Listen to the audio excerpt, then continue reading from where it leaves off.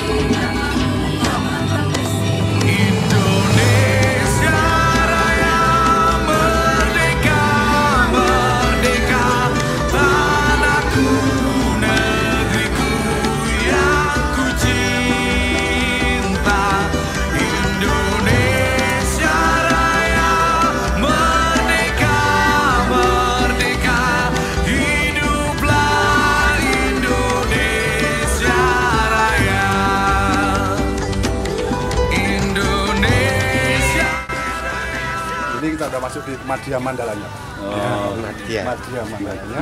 Iya, iya. Nista. Nista Mandalaya di kawasan ini.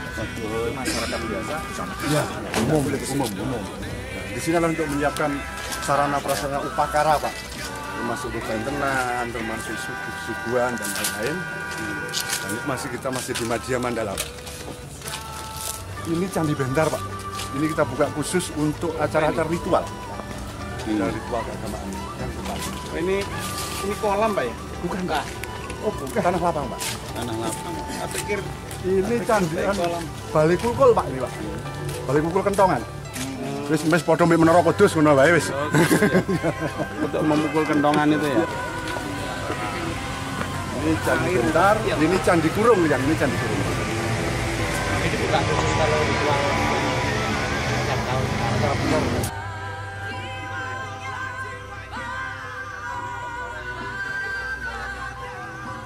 Ya, cuma yang dimaksud adalah secara teologinya, Pak.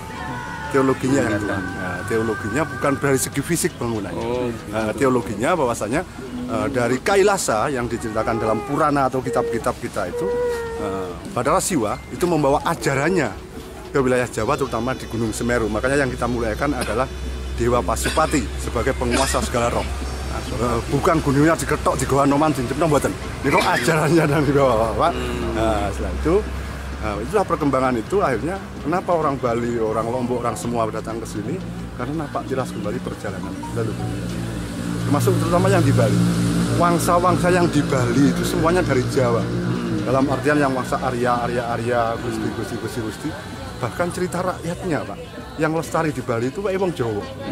Ya kayak calon narang itu kan di Doho kono itu Mbok Rondo Girah itu kan di ke diri kono, tapi lestari di Bali akhirnya gitu loh. Seperti itu.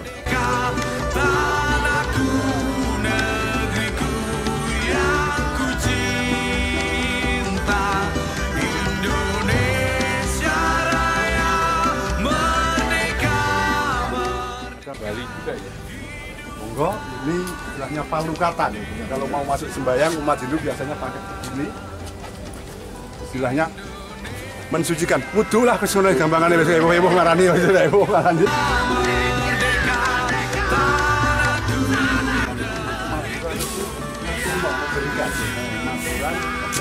Ini ya persembahan. Eh, akhirnya mantuk sembahyang biasanya tertulis. Oh, infak.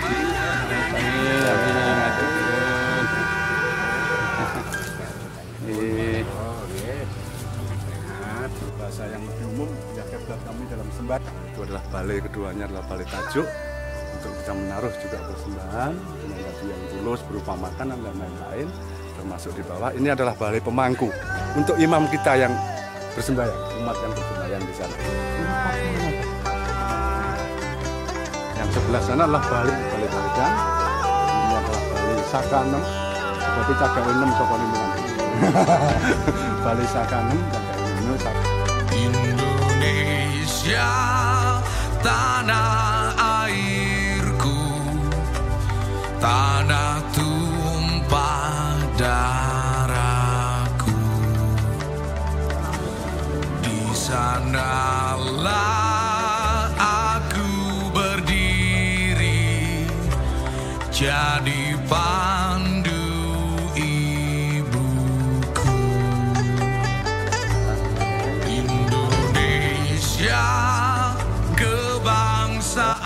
Kalau yang berbeda dengan pura-pura lain tidak ada di sini ada apa? Pat mana Pak? Pat Ini- ini- Patmanaba ini- ini satu-satunya artinya satu-satunya ya? satu-satunya Pak. Nah, ini Patmanaba ini adalah ibu dari seluruh Patmasana. Jadi seluruh seluruh agama apa orang-orang Hindu itu Ya. ke sini ini ya, ini adalah kiblatnya satu-satunya. Hindu itu ya. Kenapa di yang lain tidak ada? Karena konsepnya di sini adalah konsep Mahamer. Pak. Mahamer itu ya. konsep pemutaran Giri Mandara. Pada waktu itu ada sastra kita atau kitab kita yang mengatakan mengaduk air susu untuk menjabarkan air kehidupan. Nah, juga termasuk dalam serat-serat Ramayana, Mahabharata ada juga serat Dewa Ruci dan lain-lain yang mengartikan pencarian janji. Dan Patmanaba ini pusatnya anu ya. iya, Apa ini dibangunnya memang sejak tamat atau memang baru kan? waktu tahun itu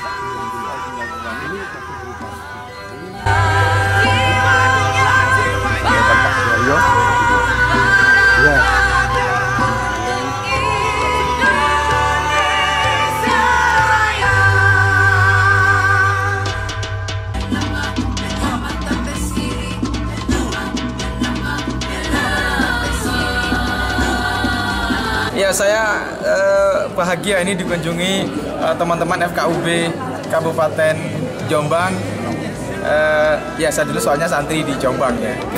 Dan ini menjadi eh, forum yang menurut saya eh, baik untuk eh, terus saling menginformasikan tentang kondisi daerah masing-masing terutama kerukunan umat beragama. Saya eh, berharap eh, ini bukan belajarnya Jombang kepada Lumajang bukan, tetapi saling saling belajar, saling menginformasikan mana program-program yang sekiranya antara satu dengan yang lain bisa saling uh, melengkapi. Ya. Saya kira itu. Ya.